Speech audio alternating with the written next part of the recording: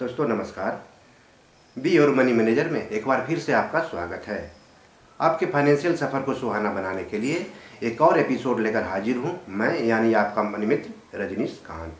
इस एपिसोड में हम आपको बताएँगे कि अटल पेंशन योजना आपके लिए कितना फ़ायदेमंद है और इसे कैसे खुलवा सकते हैं।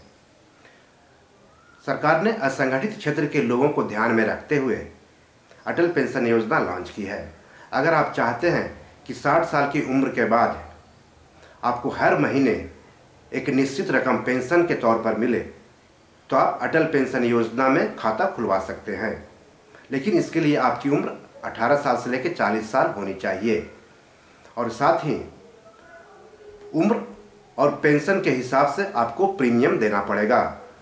मसलन, अगर आपकी उम्र 18 साल है और आप चाहते हैं कि 60 साल के बाद आपको हर महीने एक हज़ार रुपये का पेंशन मिले तो इसके लिए आपको बयालीस रुपये का प्रीमियम देना पड़ेगा हर महीने। और अगर आप चाहते हैं कि पाँच हज़ार रुपये का पेंशन मिले तो आपको दो सौ दस रुपये का प्रीमियम भरना पड़ेगा। लेकिन अटल पेंशन योजना के तहत खाता खुलवाने के लिए आपको बैंक अकाउंट होना चाहिए, बचत बैंक अकाउंट होना चाहिए। अटल पेंशन योजना खुलवा खाता खुलवाने के लिए आपको बैंक में संपर्क करना पड़ेगा। वहाँ पर अटल पेंशन योजना के लिए जो फॉर्म मिलते हैं, वो भरना पड़ेगा।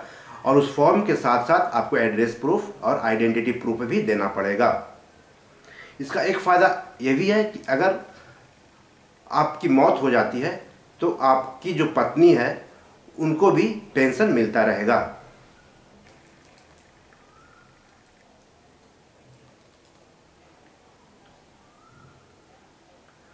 तो फटाफट अपने बैंक में जाइए, अटल पेंशन योजना के तहत खाता खुलवाइए और 60 साल की उम्र के बाद नियमित पेंशन पाने के लिए योग्य बनिए।